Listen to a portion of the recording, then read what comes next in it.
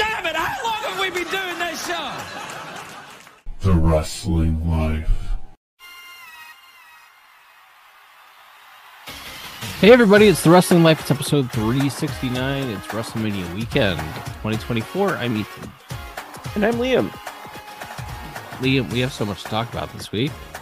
And as always, so many things we can't talk about on the first and only wrestling podcast. It's WrestleMania week, crab fans.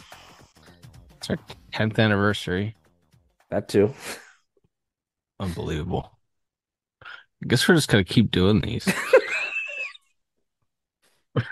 Until like Zoom prices us out of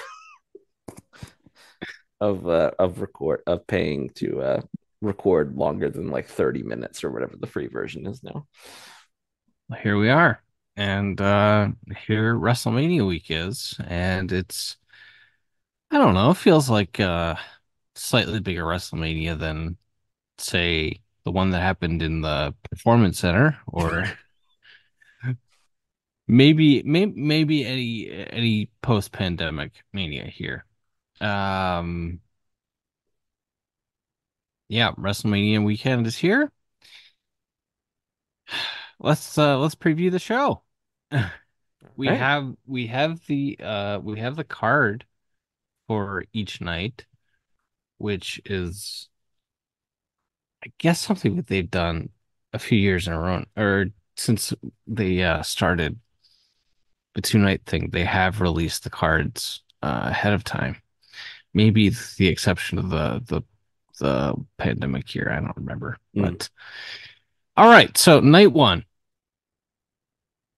the rock and roman reigns versus cody rhodes and seth rollins Mhm. uh does the rock get through this without a major injury Well, he's been training with Gallus apparently, so uh, I I would assume he's taken a few bumps without hurting himself. um, but yeah, I think he can because it's gonna be ninety if he's smart. It's gonna be, and the way they have portrayed him on TV in his interactions, in his physical interactions so far, he's he's Thanos. He's he throws one punch and and the guys go flying. So it's going to be I think a lot of him doing his offense, throwing punches and clotheslines and and uh and monologuing while while Cody and Seth sell for him and then maybe he has to take like a crossroads at the end of the match and try not to tear anything. we'll talk more about this as we move forward here. The um, LWO of Rey Mysterio and Dragon Lee are wrestling Santos, Santos Escobar and Rey Son Dominic for some reason. Mm-hmm, mm-hmm. Um, I think because maybe all these people share an ethnicity. Seems to be a lot of putting people in various factions based on your ethnicity in WWE right now. Mm-hmm.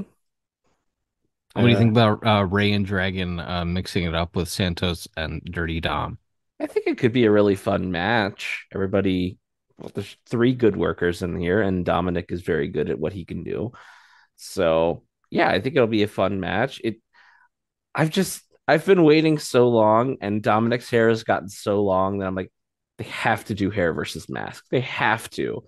And then I thought that's what they were going when Dominic got randomly got involved in Rey's match with Santos a couple weeks ago. I was like, oh, they're doing it. They're finally doing it. Like, nope, they're just doing a tag match. But um, yeah, I guess it gives it gives Dominic something marquee to do, and it gets gets it gets some bodies on the show. Bianca Belair, Jade Cargill, and Naomi versus Damage Controls, Dakota Kai, Asuka, and Kairi Sane. Uh, Jade Cargill was in the Royal Rumble, but this will be her first proper WWE match, a six woman tag. And uh, what do you think? Uh, I thought her her uh that that final segment of the next to last SmackDown before Mania, with her uh siding with the baby faces and everybody beating up Damage Control. I thought that was good. Good presentation. Entrance looks cool. Um, and Jade in a tag team might be the best use of her in the immediate future. heck of a uh, pop-up power bomb, or not quite a pop-up power bomb, but Mm-hmm. along those lines. Um, the Uso brothers are going to wrestle. This isn't quite as bad to me as uh, when they would uh, every seven years they would split Jeff and Matt Hardy up and make them wrestle. And um, they had one match at a WrestleMania, and uh, now the Usos are going to wrestle each other at WrestleMania. And um, I guess on some level, I find it easier to believe that these guys don't like each other than uh, it, than I did with the Hardys, but I also don't think it's a great idea to have them wrestle each other. Um, I also think maybe Jimmy's winning, so Cody will have an opponent post Mania. I don't know. What do you think? That would make sense. We talked about that a little bit off the air this week. Is that, and I think it came up because there was a quote in uh, Becky's book uh, that recently came out about her. New York Times bestseller. That's right. You own four copies. Uh, and uh, I think there's a there's a quote. She talks about something about how she was not super enthused to work with uh, Lacey Evans post her winning both belts at WrestleMania. What? Um, what a yeah, what a what a C for for not wanting to work with this very green, uh, unproven talent. So, and her point was that they should have had other challengers already like being heated up for her, you know, like pro wrestling is supposed to do, like pro wrestling promoters are supposed to do. Um, uh, so yes, you do need heels, if assuming, as I think we still all are, that Cody is winning the belt on Sunday. He's to need guys to wrestle, and hopefully, it's not a bunch of guys coming off of losses. I think we all think Cody's winning, but I think we all think I think we all have about a 10% chance in our in our mind that um we are allowing for a 10% chance that he will not win. the more yeah i would say the more excitement and like energy that has gone towards well gosh i really want a cody rock singles match over the last month because it's felt like they're building a cody rock singles match since the rock has been has been back. The more i've been like somebody's going to say well the rock's kind of overshadowing things here. It doesn't make sense to take the, the belt off roman at this show. We should wait until uh, we should wait until SummerSlam or next year's WrestleMania because then it, we can build it more around just Roman and the title reign. Like I have, I have to have a feeling that somebody, somebody is thinking that or pitching that at least once across this week. So as we discuss this, um there's an ESPN article today about The Rock being in training camp with Gallus and and all those things to get ready for this match, and it, he points out, uh, "I'm not off the board after after this match." He is though because he's filming two movies in a row back to back after this. Mm-hmm. Um, and you know, typically six week shoots, and that puts uh, I'm not sure when the Smashing Machine uh shoot starts, but we're you know he's out for three months minimum Mm-hmm. a- after this, and uh, provided he doesn't uh, tear every muscle in his body. Uh, so SummerSlam even seems a little bit early uh, for that uh, that Cody Rock match, but I feel like we are we are gonna get it somewhere sometime. Um, yeah, we'll see. Uh, six pack ladder match for the tag team titles. Um, this thing has the potential to be a real cluster as they uh, have driven home on television that the titles can be won separately in this here ladder match. if you climb the ladder, you can only remove, and you choose to, you can only remove one set of titles. You can leave the other titles hanging there. Anyway, it seems like they're splitting the tag titles, which, you know, fine, whatever. Um, but uh, what a convoluted way to go about it.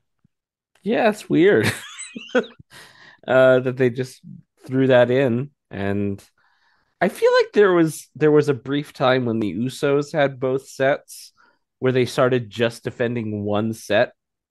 Like they would defend the SmackDown titles on a SmackDown and then a, the Raw titles on a Raw. Yes, they did that. for like a few weeks, and then they went back to defending both sets. Uh, uh, so seems like this has been in the cards before, and they changed their minds. So they're certainly like, yeah, but you you would think why would you float that out there if you're not doing that? Yeah. The teams in this are uh, Finn Balor and Damian Priest. Damian Priest still running around with a briefcase. Boy, that seems like a really dumb thing right now. um, DIY with uh, the uh, two elderly gentlemen, Johnny Gargano and Tommaso Ciampa. Uh, Miz and R-Truth, who are both older than Gargano and Ciampa somehow. Mhm. Uh, the New Day, uh, or as uh, Kevin Von Erich would say, the new gay. uh, Pete Dunne and Tyler Bate of the New Catch Republic. Terrible name. Yeah. And uh, A Town Down Unders, Austin Theory and Grayson Waller. You know, and I think there is still a chance that Theory and Waller end up doing something with some like YouTube celebrity on this show in an angle and are taken out of the match. Uh, and another team will be put in there. But um, you know, I uh am rarely wrong, but uh Grayson Waller's really grown on me. I thought this guy was the worst and had zero idea what they saw in him. And you know what? I think he's a bigger star than Austin Theory now. Oh, way bigger. I agree with that completely. Yeah. And I think he may have more potential. I mean, even if it's just the Miz's spot for the next 15 years or mm-hmm. whatever, I am buying stock in Grayson Waller right now. He is everything they want. like he Pejorative. yes. But to your point, he is, in my opinion, everything that they were trying to force with Austin Theory for the last couple of years. Uh, he is maybe you could argue that like Theory's a better athlete than him or something, but I just I've never for a second cared about anything Austin Theory has done on WWE television. And Grayson is at least you're like, oh yeah, yeah, he's he's an entertaining enough performer. He can mix it up. He I think he and uh, he and Owens did some some good stuff together on SmackDown. Like you you like he's a guy you like so you can get beat up. So he's got he's got that uh, that punchable face that is important for a for a Miz type role. Yeah. I think he's a better athlete than Theory. I think Theory is a better worker. Okay, Um, but we're splitting hairs here. sure. Um, all right. Intercontinental title match on night one. Uh, Gunther versus Sami Zayn. I think we got to get that belt off Gunther at some point so that he can uh, wrestle Cody somewhere over the summer. Or I don't know. Maybe we're still months off from that. I don't know. But I feel like Sami Zayn has to win this title. Yeah, I think he should. Um, he's a good choice. I know there's a sentimental portion of the audience that wanted Gable to come back, and they did, you know, book him to lose in his hometown in front of his daughters a few months ago. so maybe people thought, well, that has to be leading to him winning the title somewhere down the line from Gunther. Um, so yeah, I mean, you could make that argument if they're saving it for for Gable, but no, I think this is this is you want you want to do a big moment like that on a big stage, and Gunther losing for the first time in front of that crowd at WrestleMania will feel like a giant moment. So, and Sammy's a very over babyface, so even though he may not be the you know the internet sent you know sentimental favorite, he's very over with WWE's audience. So yeah, I think Sammy should win. Kicking off night one, Rhea Ripley defending the women's world title against Becky Lynch. Becky has done more media, I think, than anyone has ever done. With her book coming out and leading into WrestleMania here. And I think she's working when she says that uh, her contract's up in two months and she hasn't, like, they haven't started talking about it yet. I think Mhm. that's I think they probably have a, some kind of agreement in place and they're just waiting to sign it for whatever reason. Mm-hmm. Um, I also think uh, Becky Lynch is losing this match. What do you think? Yeah, I, I, I just don't. It doesn't feel like Becky gets anything out of beating, beating Rhea. I know they've tried to make that case of like this is her Mick Foley te- attempt to to prove that she could still hang as the as the decrepit old 34 year old that she is or whatever. Um, but 37. yeah, Okay. sure, but uh, yeah, I just yeah, it doesn't feel like doesn't feel like this is uh this has felt like a changing of the guard program. Um, it's been fine. I think every I think both her and Rhea have been fine in it, but it doesn't feel like it's a it's time for Rhea to lose the belt. And also they're just absolutely in love with everyone holding the belts for multiple years, seemingly. So it just feels like Rhea will hold that belt for a long time. Which is fine. I got no problem with that. But um, let's uh, maybe have her uh, put her in programs. Hmm. have, her a def- have her to wrestle. Have her defend that title. Oh, yeah, yeah. All right. Night two kicks off with uh Freakin versus uh, Drew McIntyre for the World Heavyweight Championship. I think Seth gets cucked here on night two. I think Drew's uh winning this belt. Yeah, I think he should. he's like, I mean, aside from maybe you could argue Cody and The Rock, I think he's the most entertaining guy on Raw most weeks for the last two months. And it's me saying this. Yes. So you know it means something. But no, I, I think he should win it. It seems pretty clear the match is him and Punk when he gets back. So yeah, Drew should win and should keep the belt until Punk's back. And then we meander back around to Punk and Seth uh, next year this time. Absolutely. Yeah. Iyo Sky versus Bayley for the WWE Women's Championship. Um, yeah, I think Bayley's winning, and uh, I think uh, pretty handedly. Yeah, this feels like the whole. this is yeah, ba- Bayley returning to uh to baby facedom needs to uh needs to finish with her with her winning the belt and overcoming the uh her friends who stabbed her in the back. So yeah, I think she she wins and she should win. Matchup of uh, young up and comers: LA Knight versus AJ Styles. to uh, like a 41 year old guy and a 48 year old guy. Mm-hmm. Gonna have a uh, singles match here. Um, I don't know. It seems like a fine use of uh, both guys, I guess. I don't know. yeah, I don't uh I don't I don't know what to expect from a match between these guys at this stage, but um people love LA Knight and, and and people will be into this match and I think LA Knight should win. Although I guess AJ would be another heel you could have go over to set up a challenger for Cody. That's interesting too. Yeah, you could do that. Um, I think I expect a perfectly fine, uh, competent pro wrestling match, but not Mhm. we're not gonna we're not gonna light the world on fire here. Uh, Logan Paul defending against Randy Orton and Kevin Owens in a triple threat match.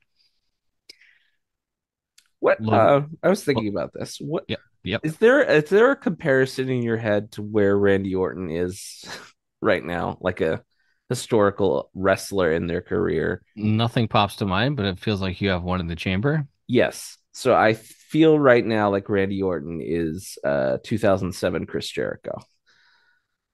He was gone for a while. Yeah. Now he's back.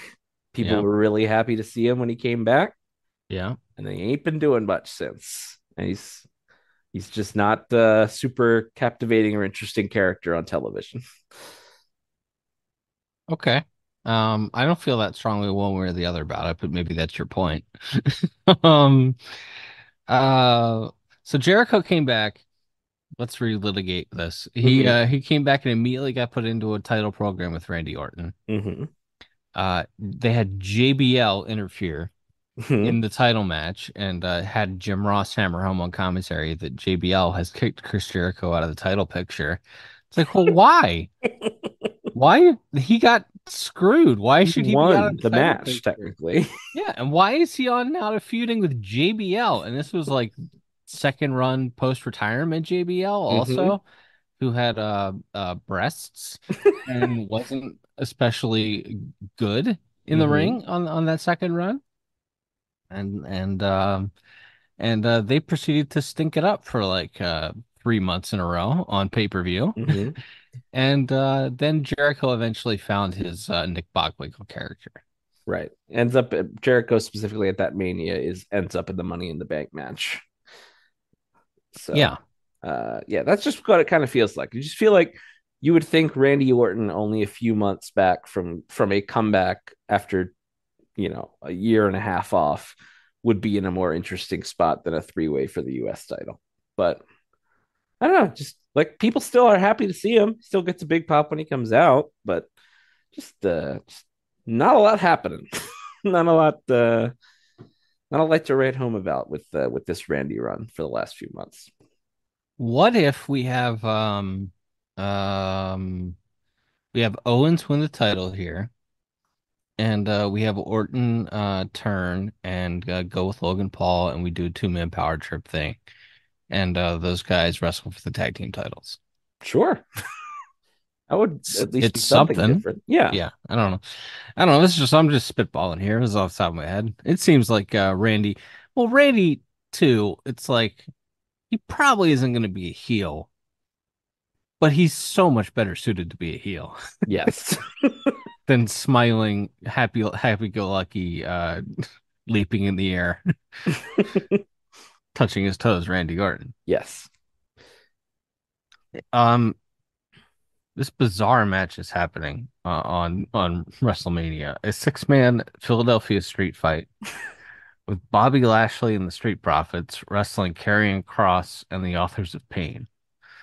Um, if there was a pre-show, like I understand, I I get it. Uh-huh.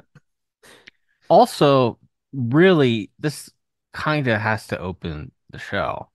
Uh, uh, so I'm I'm not completely convinced that this is the match order because how in the world do you put this before the main event? Unless the idea is we need a buffer and we need something to stick the joint out and we need to give people a chance to go out and get their pretzel and their popcorn Mhm. before the uh the cinema begins.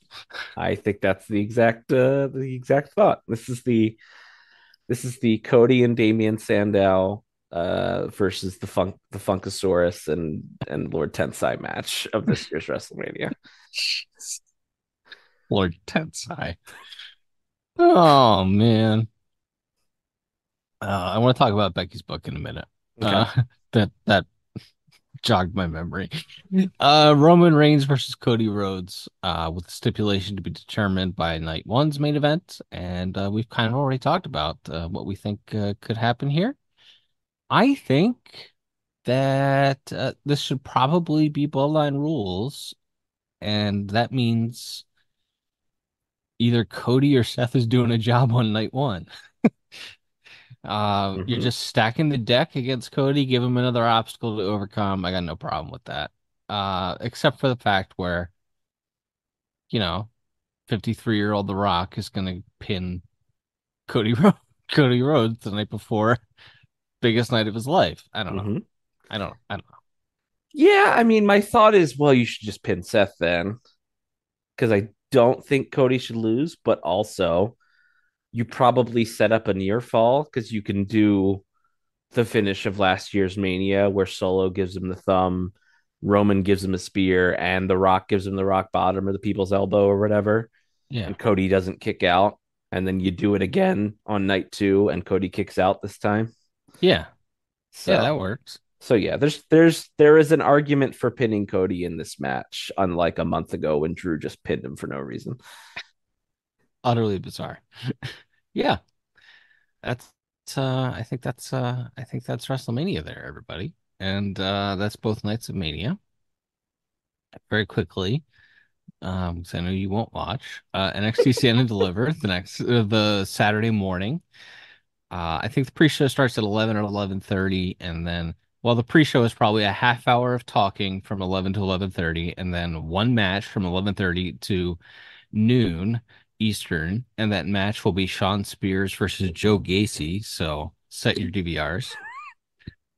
Joe Man. Gacy finished with his uh, prop-based feud with Dijak, is he? Uh, yeah, but he's still he's a wacky guy. Mm-hmm. Mm-hmm. Uh yeah.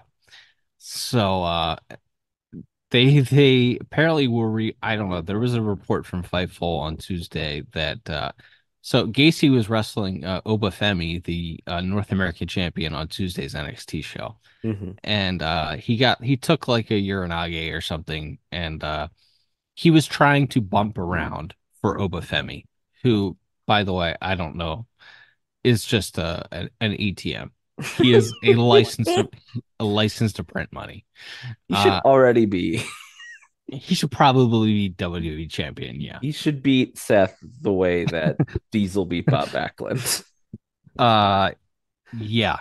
Seth Seth would recover from that, and Oba would be launched to superstardom. Yep. Uh, so Obafemi's wrestling Gacy. He takes the urine. Gacy is trying to bump around for this guy, and uh, like takes the Uranage on the back of his head or something. Not Obafemi's fault whatsoever. Mhm. uh, Joe Gacy's fault. Referee throws up the X and uh, they stop the match and they call it a no contest. Weird because I would have thought they would have called it a ref stoppage and the winner would be Obafemi. Mhm. But um, it came off in such a way that it was like, I think this is a fake injury. I think this is an angle. Mhm. But then Fightful reports that uh, it wasn't an angle. They were really um, l- legitimately concerned that Gacy had been concussed, uh, taking bumps on his head, Mm. and and then they were rewriting TV segments as this was going on. But they they I guess felt confident enough that Gacy's going to be okay that they later in the show announced he's wrestling uh, the chairman Shawn Spears uh, on the pre-show on Saturday. Anyway, Well, That is thirteen thousand people in the building for this, for Shawn Spears versus Joe Gacy. Shawn Spears is going to be like one of the most over guys of the whole weekend, probably. Probably so. Uh, people love to chant things. Um, there is uh, Ilya Dragunov versus Tony D'Angelo for the NXT Championship. This feud's been wacky. Uh, Tony D is not winning the NXT Championship, and uh, it's not the most important match on the show, so no one cares. Obafemi versus Dijak versus Josh Briggs. Josh Briggs, I think, has been left up left to his own devices to come up with his own character, and he's come up with like uh, aces and eights guy. he's come up with like Wes Briscoe as my character, Oof. and uh, and they split up his tag team with uh, Brooks Jensen, and uh, very clearly those two guys need each other and need to be a tag team, and instead they've split them up. Whatever. Uh, Obafemi should win that, and he should pin. Uh, he should win with uh, one foot on both guys' chests Absolutely. as the finish. Uh, Lyra Valkyria, who I'm very high on, versus Roxanne Perez, who I'm also very high on. Mm. Uh, for the women's championship, Roxanne's miscast as a heel, but I understand them wanting to like, let's see what you could do as a heel. Let's do it now on uh, on uh, developmental TV. That's fine. They um had kind of an, a clunky match on the last pay per view, but uh, they're both very good. Baron Corbin and Bron Breakker versus Axiom and Nathan Frazer for the NXT tag titles. It's a match. Mhm. Um, three of the four guys are very good, and one of the guys is uh competent in Baron Corbin. Has Corbin been down there a year yet? Feels like longer. I think he has. Yeah, I think it's been about that. I was gonna Maybe I thought. I thought he showed up around around a year ago. I thought it was around the Mania show last year, but Yeah, and now he's uh you know he's tag champs with Bron Breakker, who's on the main roster now. right. I- Yeah, so it feels like they're losing these. It just feels like Axiom and Nathan Frazer are a weird team to lose them to. so maybe they're not losing them on this show, but Hmm. I don't know. Six woman tag with Thea Hail, Fallon Henley, and Kelani Jordan versus JCJ and Kiana James and Izzy Dame. Horrible name. uh, this is also a buffer match. And then uh, Carmelo Hayes and Trick Williams. Trick Williams might be the most over guy at WrestleMania weekend. Uh, not uh, poo-pooing your Shawn Spears point, which I think is accurate, but people also love chanting "Whoop that Trick. Mm-hmm, mm-hmm. And uh, these guys have a, a real a real uh, personal issue feud here that uh, has carried them to the main event of this show. And uh, Trick Williams' money he's still very green. Carmelo Hayes is very small, and I have no idea what he's doing in the ring at any given time. But people seem to like him because he's polite and rarely late. So uh, there we go. That's NXT Stand and Deliver Saturday at noon. Anything to add?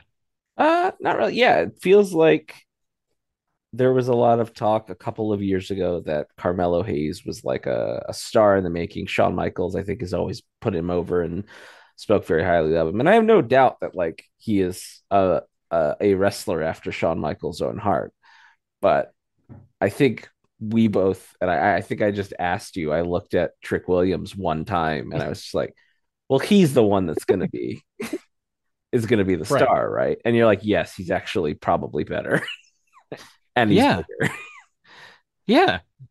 He's taller, he's better physique, he has more charisma. Mhm. Like Hayes is right now, Hayes right now has is probably a more polished promo, but uh you believe things that Trick is saying more than the things that Carmelo is saying, if that makes Mhm. sense. Yes, absolutely. And and uh Carmelo is five foot three and and Trick is six two with a body like an action figure. Like, yeah. I was like, they did a bit because Carmelo was in the U.S. title tournament a few months ago on SmackDown, still as Yes. Yep. And they did one show where Trick ran in to save him. I think it was before the last NXT special. Yeah. And Trick got a gigantic reaction.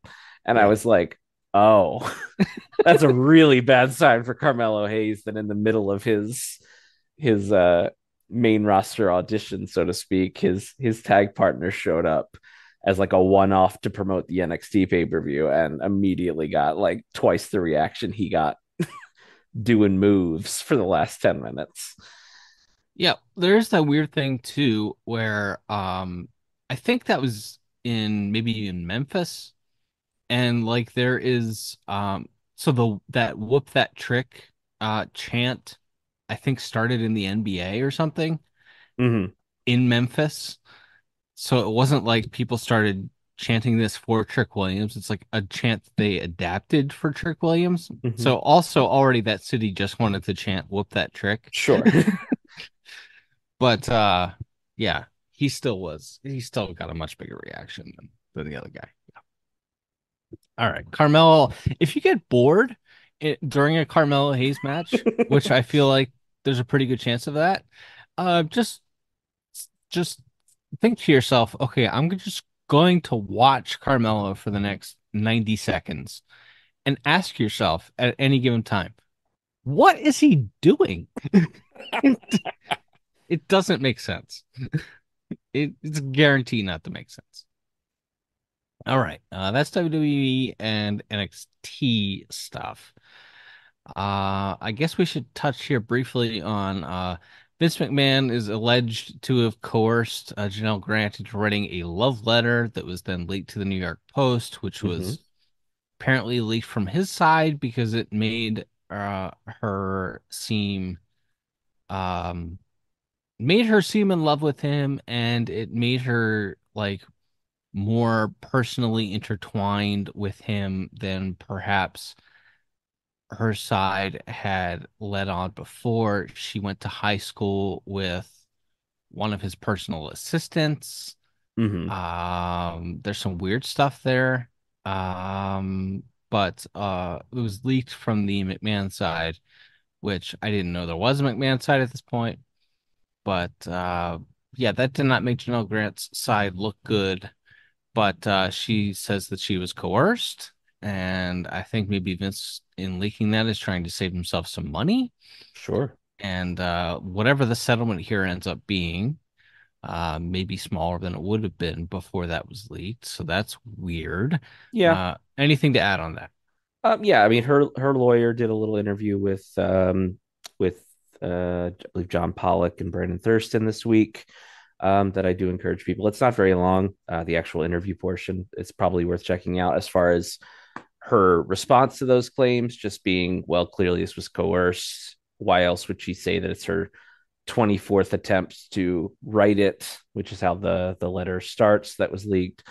Right. Um, and then there's also, I think, an image of a text message where she shows off, I guess her fingers were injured, and there's a text message about, you know, I'll get to your letter as soon as I'm healed up or something like that. So that was the counterpunch from uh, from uh, Janelle Grant's side of the uh, of the lawsuit to that uh, that accusation. So yeah, it's gonna get messy, and uh, guys like Vince can avoid avoid uh, can afford some very uh, vicious and thorough uh, def- legal defense. So it's going to get messy and ugly, and there's going to be there won't be any stones left unturned, at least not as as long as this goes, unless, as you said, the likely result is probably that this settles before it ever goes to court and things start getting entered into uh, uh, exhibits as evidence. So Ronda Rousey uh, is doing a book tour, a uh, Mhm. less successful book tour than Becky Lynch's book tour. overshadowed again. Whatever. Yeah. We can talk about uh one or two wrestling things she talked about uh going forward there, but a lot of the theme of her book tour was my second run in WWE was a shit show. I couldn't wait to get out of there.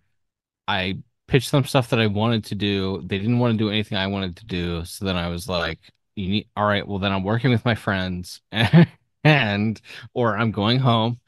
And then it was okay, I'm working with my friends and then I'm going home. Mhm. And also, um, there's a culture, a a bad, there is or was a bad culture there. Doesn't like Johnny Ace or Bruce Pritchard or Vince McMahon. Mhm. And she also casually threw in that in a backstage interaction as an example of um the weird culture towards women that existed in the company when she was there. She relayed a story about being at a show in 2022 and uh I think pretty sure it's 2022. And uh, Drew Gulak started tugging on the drawstring of her sweatpants. Uh huh. Gulak issues a statement where he admits that this happened. Mm-hmm. Don't you hate it when you go to shake a lady's hand and you accidentally end up tugging at her pants instead? What a What? uh, sweatpants drawstring, a human hand. These things are always getting confused. What? What a weird, what a weird thing. Like, like on one of those things where, like, if you're trying to put your mind in like a corporate PR person, you're probably like, say nothing, uh, or deny it. I guess. But if you were going to admit it, instead of saying, "Look, I have a weird sense of humor, and I thought it would be funny. I saw it hanging out. I, I just thought I was being like a weird, funny guy. It was dumb and inappropriate, and I apologize." Like that's probably the only way. If you if you were going to admit that this definitely happened, uh, which he did, then that's probably the only way the only real appropriate way to do it. Not I tr- I tripped and missed her hand and grabbed her pants. Like what a what a ridiculous thing to say. Um, so I I am curious if that was run by anyone in the company before he chose to make that tweets. But uh, Feel feels like they probably should have just fired him. yeah, And by not just firing him, I I don't I don't know. I don't understand. Yeah, I don't to your point, I don't understand how you make that statement, but I also don't understand if you're Drew Gulak, how you feel confident enough to make a statement without running it past lawyers and or a PR team. wrestlers are dumb. wrestlers are really dumb. Wrestlers are very, very dumb. Mhm. That is that is correct. Uh CM Punk, our friend Phil. He's back. He's back, baby. I I uh, I sent you. A, I watched his full, almost two-hour interview with Ariel Helwani this week while I Mhm. was on a dog walk, and uh, I'm really glad I did. Uh, few things in life bring me as much joy as uh, as when uh, you, I see Phil and I'm like, there he is. There's the guy I know. Yeah. Uh, so He went into detail on um not to cut you off, but he went into detail on the uh all in incident with Jack Perry Mhm. and uh quitting AEW. And he went into a lot of detail pretty much about everything about his time with AEW except for what happened in the locker room after All Out, which he said he has been NDA'd for. So uh as we expected. So uh what do you think what Phil had to say? I mean, there wasn't a lot of like, I didn't think, obviously, Tony Khan felt differently based on Dynamite this week, but I didn't like so much of it was just what we heard from Nick Hausman's report reports right after it happened. Phil Phil had leaked this before, yes. So I didn't think, I mean, it's it's fun and funny hearing him like tell it in his own words for Yes, sure. Like it's very entertaining listening Yes, to him is. tell the story. So it had a great entertainment value in that way. But uh, I feel like if this was, uh, if you were waiting for the big bombshell, um, I guess there was some stuff about he mentioned that like he had to schedule his own surgery after he, because that was after the tricep injury And pay for it. Yeah. and pay for it. And he was uh, peeved about that. And I agree. If you get injured in somebody's ring, they should be paying for you. They should be paying to uh, to heal you. Yeah. Um, I totally agree with that. He has an absolute legitimate uh, grievance there, and I, I think that's the that's the the wonderful thing about Phil is that there's always legitimate grievances somewhere in there with uh, whoever whatever wrestling company he is currently uh, enemies with. but there's always just there's always a little bit of uh, a little bit of stuff that's just a little a little bit self-serving, a little bit.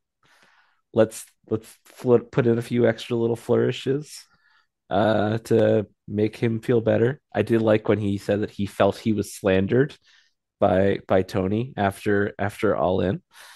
Yep. Um, which I to which I said, if you actually thought that, you probably would have sued him, wouldn't he? He loves suing people. yeah.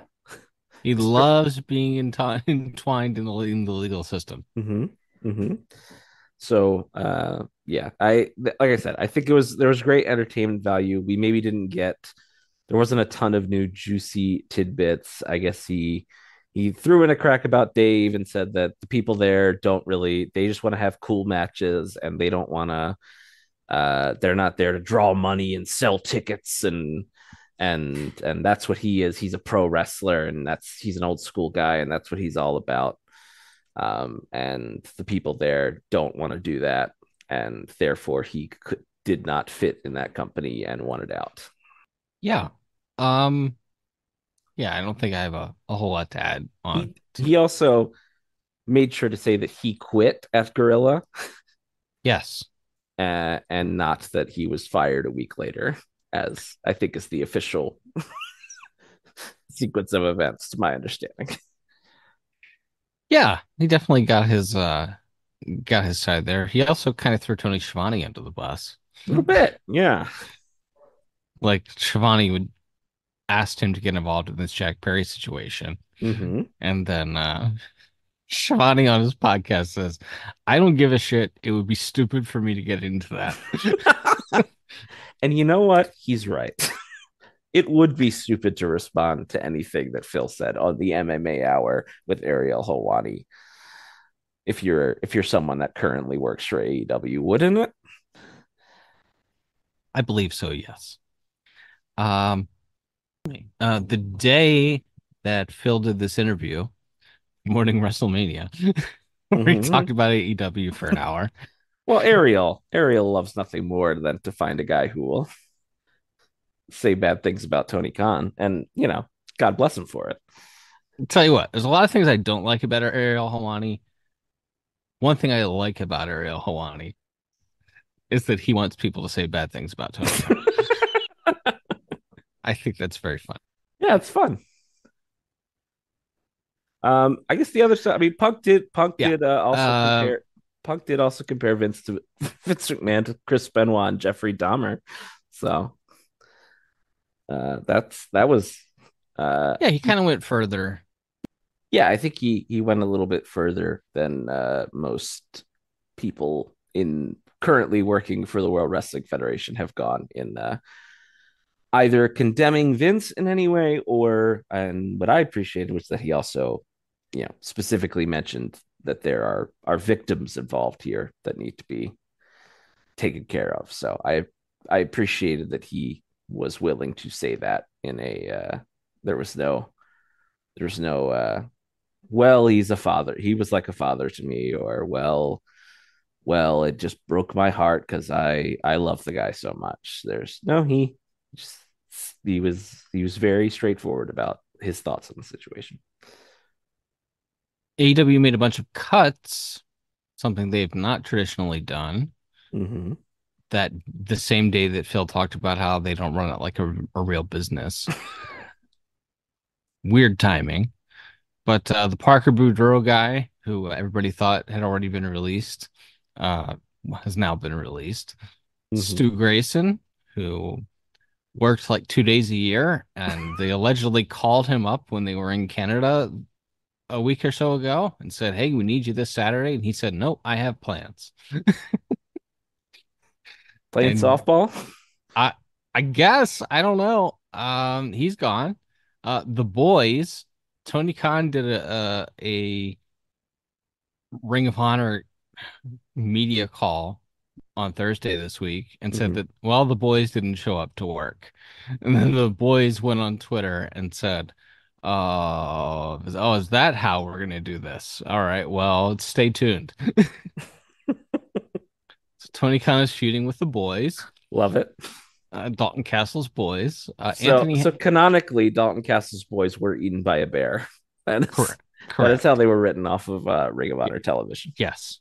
Uh really the the the uh Johnny TV, John Morrison, uh Dalton Castle feud on ROH TV should be studied.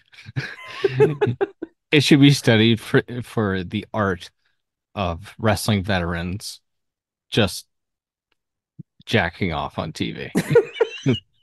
It's what it is. Um yeah, so the uh the the Trust Busters were gone, and then uh two very uh, Anthony Henry, who suffered a jaw injury that he thought was a broken jaw, then maybe wasn't a broken jaw. Um, of the Workhorsemen was released. He got hurt in a match against Bryan Keith, who was all another AEW talent on an indie show, Mhm. and allegedly AEW was mad that he got hurt working a non-indie show, which he was allowed to do because of the type of contract that he had. Mhm. And then they cut him while he's out with this jaw injury. And then I think he's back now. Uh, Tony did say on the media call that he will be back, I guess, once he heals. I don't know if that means like it'll be a per appearance deal, but we'll still use him, or Right. If they are signing him to a new contract as a result of the backlash against cutting a guy who was injured. That that I don't think was made clear. He just said he'll be back in AEW and ROH once he's once he's healthy. Correct. And then the two most personal for us, uh, Jose the assistant, uh, guy I can't stand. Friend of the show. Uh, for, yeah, Jose the assistant was uh was axed, and uh your your pal Dasha, the uh, ring announcer, who was ring announcing on Collision, uh this past weekend, cut for some reason, even though she had like four jobs with the company. Yeah, that's one that really makes you scratch your head just because she wore so many hats for them. And I we've talked about it. I think she's a significantly better ring announcer than Justin Roberts is. Agreed. Um, I think just overall better better at every aspect of what you would want a ring announcer to be. I know she flubs names from time to time. Um, I've never noticed that. I never. You told me that, and it's like if you don't I've never if- noticed that. I mean, I probably notice them more because like then they end up on Botchamania or whatever, and I see them. Ah, But okay. um, but yes, she has she has flubbed a name or t- time or two, probably more often than Justin Roberts. I don't think it's a constant issue, but uh, yeah. But again, ring announcing was one of you know one of she had done backstage interviews, she had done Spanish commentary for them, she had done I think she co-hosted their podcast sometimes, so she has like a bunch of roles there seemingly, and I mean, can't imagine they were paying her that much money, and she was a pretty early on hire uh, to the company as well. So yeah, that one seemed really disappointing and seems like she was super well liked by everybody there. So uh yeah, I don't I don't get it. I don't I don't get that one at all. I mean, really, any of these people that you cut, and when Tony goes on his on his call with the Ring of Honor thing this week, he says, Well, you know, we need to stay competitive and be able to make big money offers to these free agents that could be coming up this year. It's like, really? Slim J was going to keep you from making a play for Drew McIntyre, was he? Jora Johl was uh was going to keep you from uh, signing the next big uh New Japan or or WWE talent that hits the free agent market, was it? Yeah, that's a little disingenuous. Is wouldn't it just be easier to say, "Hey, we haven't made a profit yet"? Yeah, or hey, it's a business. These people we have enough bodies, we don't need them.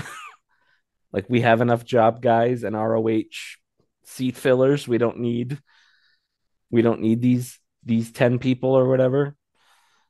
Like it's it's it's ruthless and you know it, the previously AEW has let contracts expire without renewal, but they have not cut anyone in the middle of the contract without cause.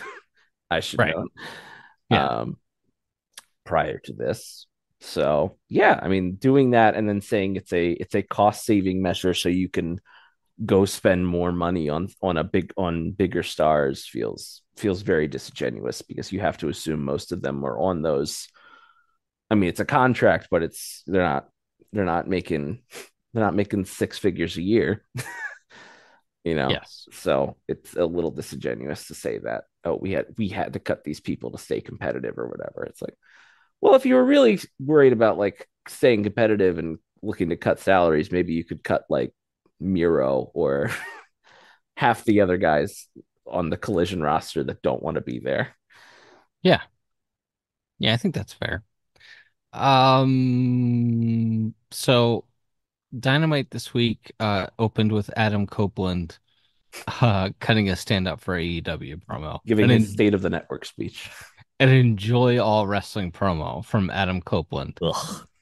It was very bizarre. It was very uh much in response to the things that CM Punk said in his inter- interview this week. And hey, I'm not a billionaire. I don't own a wrestling company.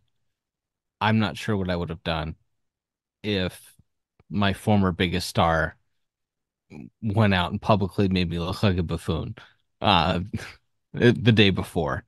But I don't know that I would have sent one of my new toys out to respond for me in the opening segment of my television show, two hours prime time on basic cable, uh, not building or leading to anything. This was just Adam Copeland rallying the troops. I don't know. Weird. Like, yeah, I again, if if if it's something like we need to do this for the locker room or something, and you want to do it off the air, I guess it's fine. I think Dax cut a promo after after the collision taping. Yeah. As well, kind of not not saying the exact same stuff, but doing a, you know, A lot of the same sentiments. yes. Um, I think that's probably fine. It's probably fine to do that and uh you know, make sure you know your, you know, your your hardcore fans are still with you and you're and whatever, and you're not taking it lying down and all that. But yeah, doing it on TV was weird. Um, and also I just I don't like like I said, I think I think the punk stuff, it certainly made waves on the day, but it didn't feel like such a massive story that's like, well, you've got to say something here. You've got to have somebody say something. And I I was just it just felt it just came off really weird. And it felt like Adam was out there like begging for cheers in some of those things. That people were people were happy to see him. Like they cheered for him when he came out and they cheered when he said a bunch of different names of people he'd like to wrestle now that he's in AEW and how happy he is to be in AEW but it's just just kind of a weird thing to put on to put on your TV um and like I said I just don't feel like it made it made it made waves on on the internet, but it did not make such large waves that I think you had to respond. as compared to say when the original brawlout incident happened and you had like Moxley and Jericho cutting, you know, pretty impassioned speeches about what the company represents and you know that this this locker room is ours and we're you know we're not going to let anybody take it away from us like you can understand why maybe they felt like they needed to have that message on the show the Wednesday after CM Punk punched two of the executive vice presidents in the company. Um, I don't think you needed to do this on live television to respond to an interview with Ariel Helwani. Uh, um, and for what it's worth, Cody was asked similar questions and was very like a pro, like a pro, was very complimentary to to Matt and Nick and Kenny, his good friends, who he definitely still likes, and also to Punk, who he definitely likes. So, like, I don't know. It, that was the other part. It's like, well, other people were asked the same questions on the same show this week, and we're totally complimentary to Tony and the Bucks and everybody. So, it didn't really feel like you you needed to. This needs to be some big clapback, or you'll look you'll look weak. It's like, no, I think much like what the the elites uh, strategy clearly was, while Punk still worked there, probably would have been better off just ignoring it. just doing your show like normal. Yeah, pretty much so. The only remotely negative thing that Cody Rhodes had to say was he felt like his wife was scapegoated for her work at AEW, Yes. which, which is like the closest thing he's ever come to saying uh Brandi's contract wasn't going to be renewed and that's why I left AEW, Mhm.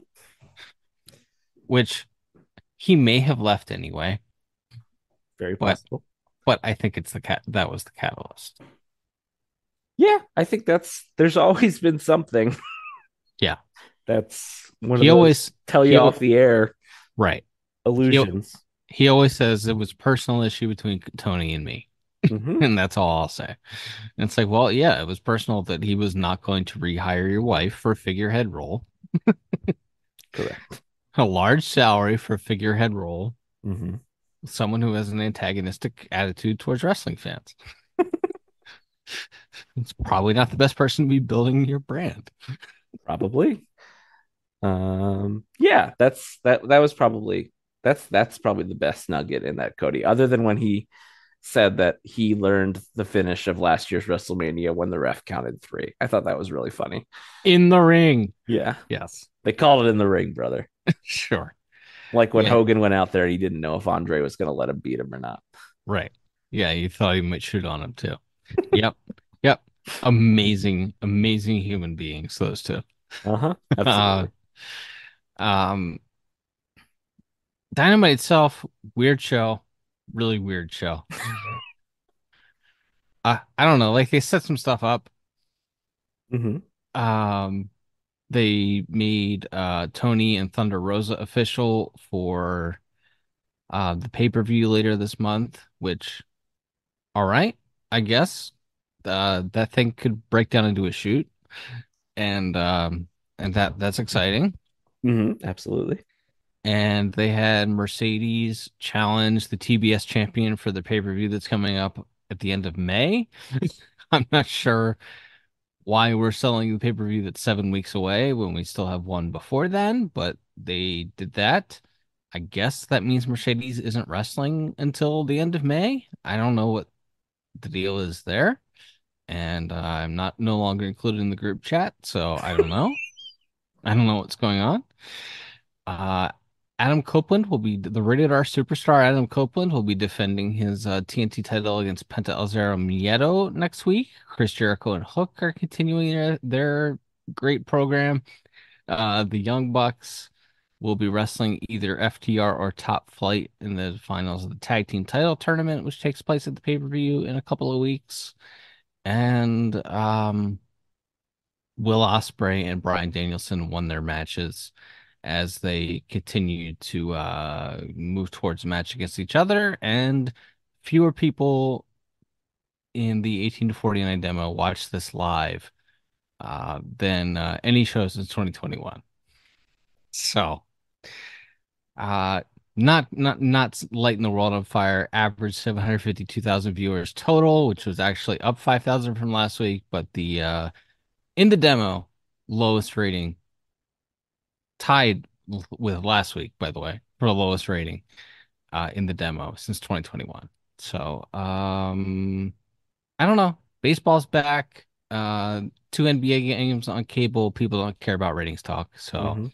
Uh, let's just stop talking about ratings. but uh, uh, and I would love to know the DVR numbers.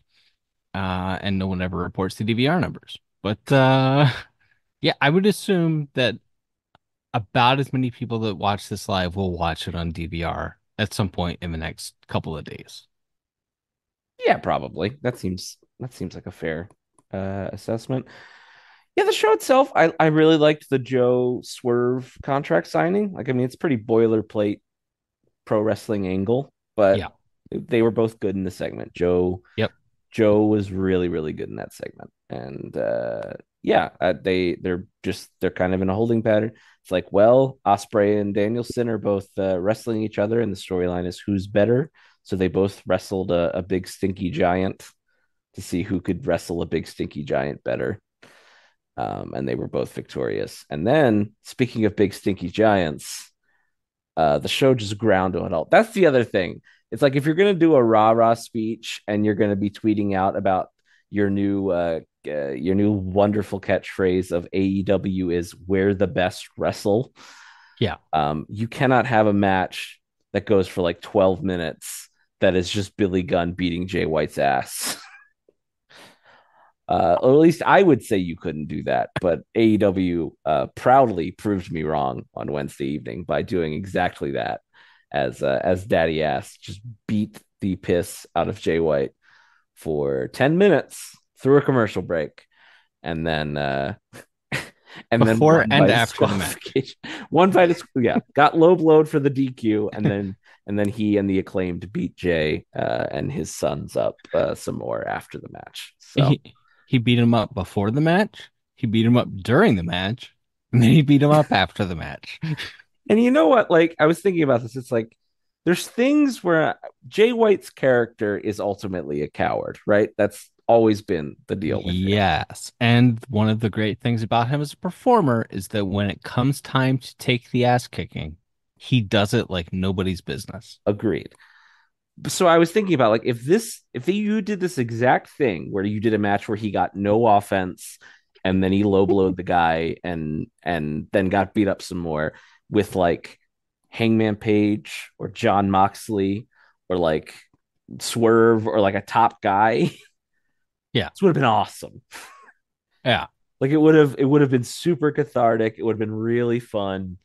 And it would have been like a great segment and a great way to get like some righteous babyface fury from one of your top guys. Instead, It should have been like the match before the blow off match in a feud between top guys. correct. Right. You do this, you don't get the clean pin though. And so you build Right. to and and the ass boys get involved. So you build to a cage match or whatever. Right. at the pay per view. Exactly. Like in a bubble, doing this with Jay, Jay White is the perfect guy to get his ass kicked for 10 minutes in a fair fight and then slither away at the last second. Yes. But they chose to do it with 60 year old Billy Gunn. and just, just mind boggling, honestly. Yeah, I don't know. I don't know who this was for. For Billy Gunn, Yes. Yes. Uh, someone put up, I had forgotten this. He did a match with Darby like a year ago, and he kicked out of his finish at one. I was like, Billy Gunn don't like doing no jobs. Why does Billy Gunn, who's in his 60s, wrestle way more than either of his kids who need ring time? right? Yeah, he's he is Crazy? The, he is the protagonist of the acclaimed trio now.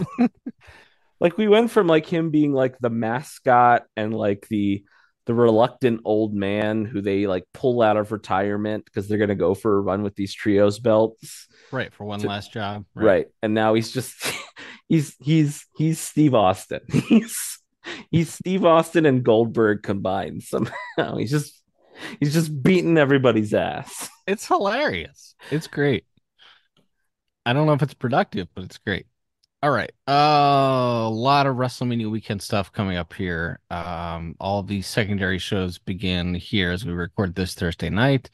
I need to uh, uh start working on uh, WrestleCon Super Show stuff with Rob Van Dam versus Speedball Mike Bailey and uh, Paul Walter Hauser and Zoey Stark and Nick Khan and Shayna Baszler are at Josh Barnett's Bloodsport Mm-hmm. and uh, all these secondary things that are uh, popping up here. So everybody uh, enjoy WrestleMania weekend. And uh, Liam, is there anything else that you'd like to get into? No, I think that's that, that about covers it. The uh the GCW stuff's e- easier to watch now because you can get it all for like seven ninety nine instead of having to buy all those shows individually. So it is Oh. easier to keep track of those WrestleMania weekend shows if you're so inclined. That's uh yeah, good times, everybody. There's something for you this weekend, no matter what you're into. Mhm. If you're uh, really into Billy Gunn beating guys, you can you can watch Dynamite on DVR. Um, Collision will be on at 11:30 p.m. this Saturday night after WrestleMania, so you can just you can start watching wrestling at 11:30 a.m.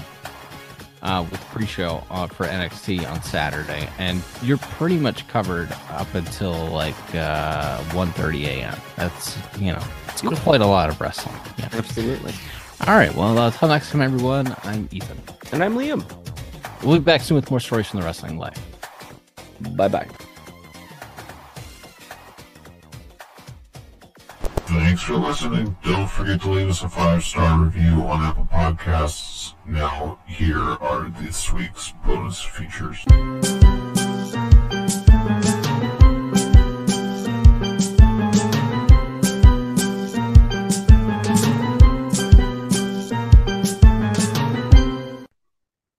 No, there's no Easter eggs.